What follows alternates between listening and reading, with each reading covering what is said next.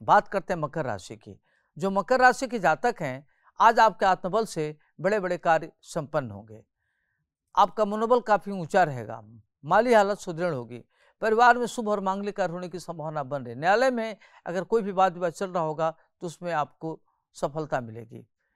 उद्योग धंधा लगाने का अवसर मिलेगा, वाहन खरीद सकते उसका प्रबल योग बन रहा है, माली हालत अच्छी होगी और संतान की प्रगति से मन खुश रहेगा। माली हालत सुदृढ़ होगी, नए तरह के व्यापार कर सकते हैं जो आपके लिए लाभप्रद रहेगा। विद्यार्थियों के लिए, खिलाड़ियों के लिए इस समय बहुत अच्छा नहीं है। और आज आपको सावधानी क्या बरतनी है? अपने खर्च पर नियंत्रण करें।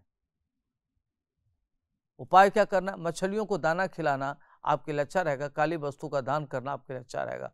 शुभ अंक है आठ, शुभ रंग है हरा, लक मीटर सात। हरे कृष्ण।